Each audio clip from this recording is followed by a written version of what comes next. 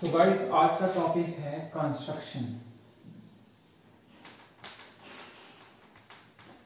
Construction जो one of the easiest chapter है class ten math की बुक का और ये चैप्टर है बुक का इलेवन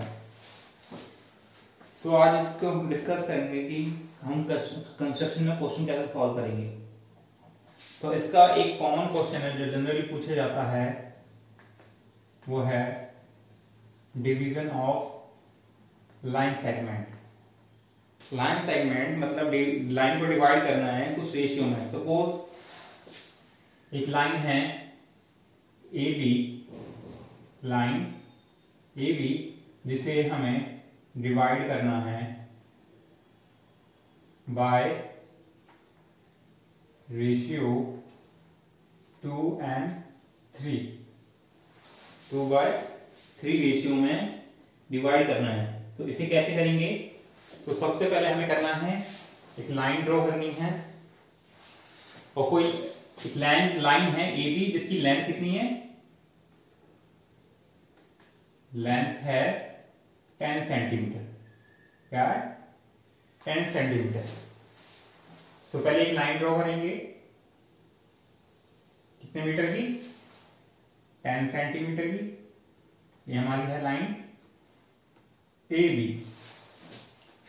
फिर पॉइंट ए से हम एक रे ड्रॉ करेंगे रे इसकी लेंथ कुछ भी हो सकती है। तो रे ड्रॉ करेंगे रूलर लेंगे। रूलर से हमें करना पड़ेगा कितने हैं ये? अगर इसे टोटल करेंगे रेशियो कितना आएगा? Two plus three equal to five तो हमें फाइव कर मारने हैं। फाइव रूलर से ऐसे मारने हैं। एक, दो, तीन, चार, पाँच। नाउ इसका नाम देते हैं A one A two A three A four and A five उसके बाद जो ये लास्ट पॉइंट है ए वन ए फाइव इसको हम मिला देंगे बी से। और जो ये एंगल फ़ीड होगा, ये एंगल फ़ीड होगा, इसका हम प्रकार से नाप ले लेंगे। ऐसे करके नाप ले लेंगे। ये कुछ ऐसा आएगा, यूँ। नाव उसी उसी की एंगल के नाप से हम यहाँ से एक वो मारेंगे।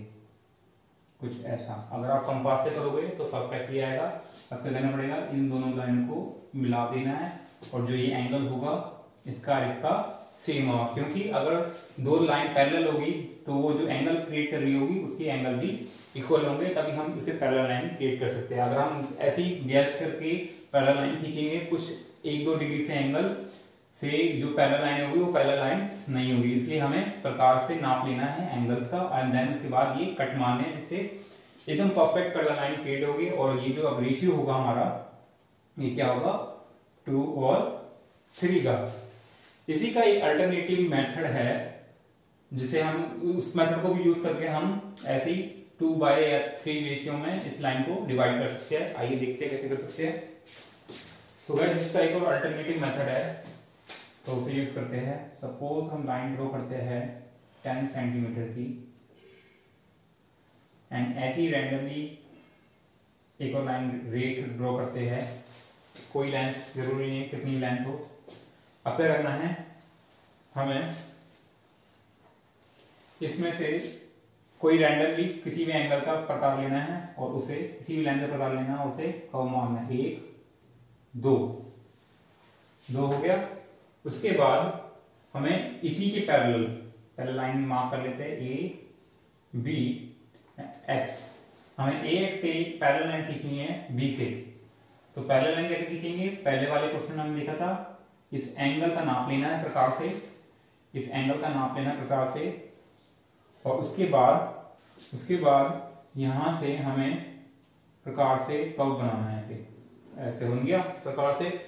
और इसी लाइन से हमें फिर प्रकार से एक कव मारना ऐसे, और ये कुछ ऐसे पैदल लाना चाहिए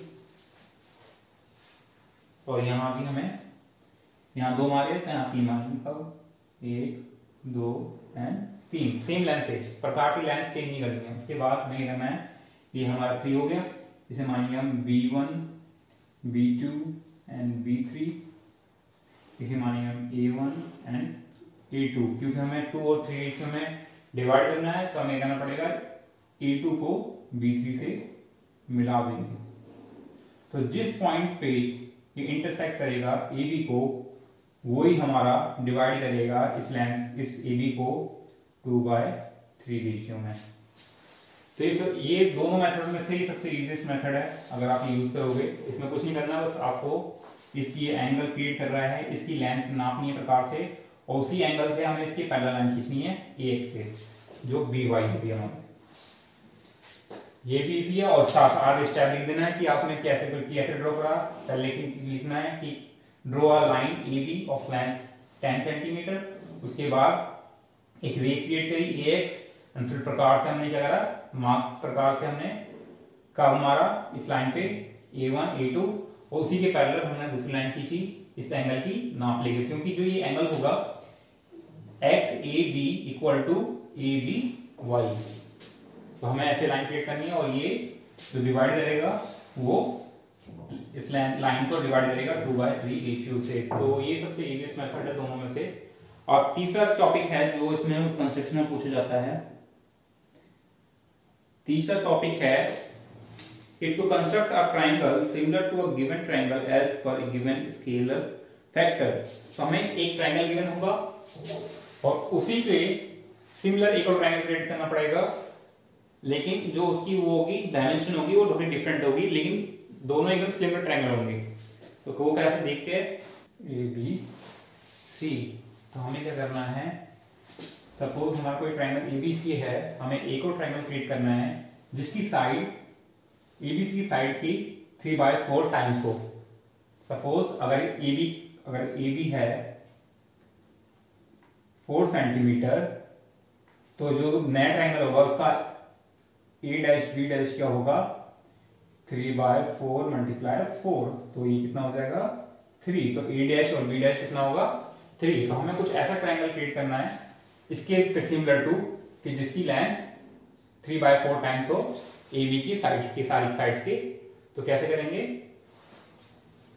बहुत इजी है।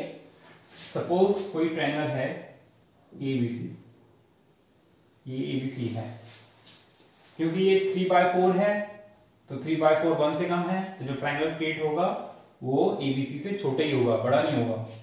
तो कैसे करेंगे? सपोज़ ये ए बी सी है हमारा। उसके बाद क्या करना है? उसके बाद आपको क्या करना है? एक रेड रेड क्रिएट करनी है बी से। ज़रूरी नहीं हो पैरेलल हो किसी से। और इसका नाम देंगे हम एक्स नाउ जो फ्रैक्शन होगा, उसका हमें मैक्सिमम फाइंड करना है। तो इन दो तीन दोनों में मैक्सिमम कौन सा है? Max of three and four क्या होगा? फोर तो हमें एक प्रकार लेना है, कोई भी रैंडम लेंथ का। उसके बाद हमें कब मारने हैं? फोर। एक, दो, तीन, चार। उसके बाद हमें इसका नाम देना है B one B two B three B four and then हमें बी फोर को मिला देना है सी से। क्लियर तो जो ये एंगल क्रिएट करेगा एंगल क्रिएट कर रहा है क्योंकि रेशियो है थ्री और फोर तो हमें ये करना पड़ेगा? बी थ्री से बी सी तक हमें B B four B C के पैरेलल लाइन खींचनी है। तो कुछ हम ऐसे गैस करके एक लाइन खींच सकते हैं, लेकिन हम गैस नहीं करेंगे। हमें क्या करना पड़ेगा? पैरेलल लाइन खींचने में क्या करना पड़ता है हमें? एंगल का नाप लेना पड़ता है। तो एंगल का नाम प्रकार से लेंगे, उसके बाद हम क्या करेंगे? यहाँ से कर्व बनाएँगे हम इसे ऐसे, उसके बाद हम लेंगे यहाँ से, इस पॉइंट से। इस पॉइंट से फिर एक और कट मारेंगे तो ये कुछ एंगल लाइन हमारी न्यू क्रिएट हो जाएगी। अगर आप प्रकार से करोगे तो एकदम परफेक्ट क्रिएट होगी लाइन हमें पॉइंट मिल गया ये, कि हमें बीसीओ किस रेशियो में डिवाइड करना है। उसके बाद हमें एबी को डिवाइड करना है। तो एबी पर डिवाइड करेंगे, हम फिर एसी के पैरेलल एक और लाइन खींचनी पड़ेगी। तो पहले जो एंगल क्रिएट कर रहा है ये तो हम प्रकार से यहीं से एक लाइन वो कर्व बनाएँगे और कर्व की लेंथ नापेंगे। जो कर्व की लेंथ होगी, उसी लाइन से हमें यहाँ भी एक वो बनानी है। तो कैसे करेंगे? तो ऐसे यहाँ से प्रकार से एक फिर कर्व बनाएँगे? उसके बाद यहाँ से उसे यहाँ से कट करेंगे। तो जो ये पैरल है, इसके एक और क्रिएट हो जाएगी। कुछ ऐसे। तो आप प्रकार से रूलर से करोगे तो एकदम परफेक्ट क्रिएट होगी ये। लाइन कुछ ऐसे होगी।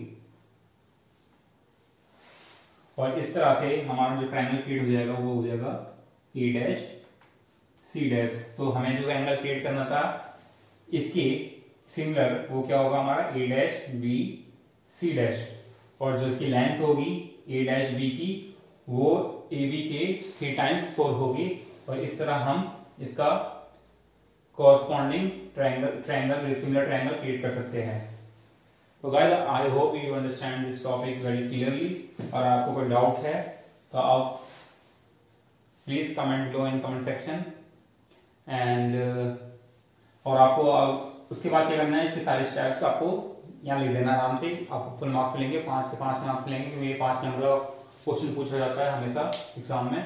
क्योंकि मैंने इसे मार्कर से बनाया, इसलिए थोड़ा क्लियर नहीं बनाया। अगर आप इसे उससे बनाएँगे कॉपी में बनाओगे रूलर से प्रकार से तो बहुत ही क्लियर बनेगा।